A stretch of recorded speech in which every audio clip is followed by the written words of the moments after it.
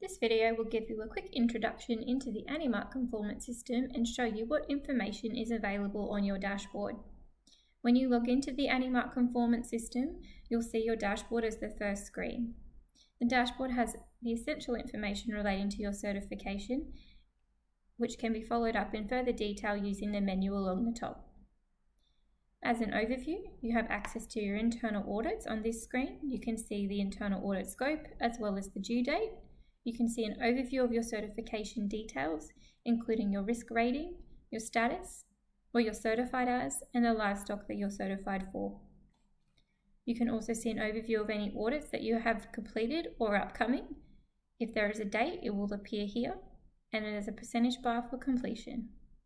If you've been issued any non-conformities, corrective action requests can be found here. You can also click on the entry here to be able to edit and upload your corrective actions. Scrolling further down, you can also access your LGAP certificate by clicking the preview button.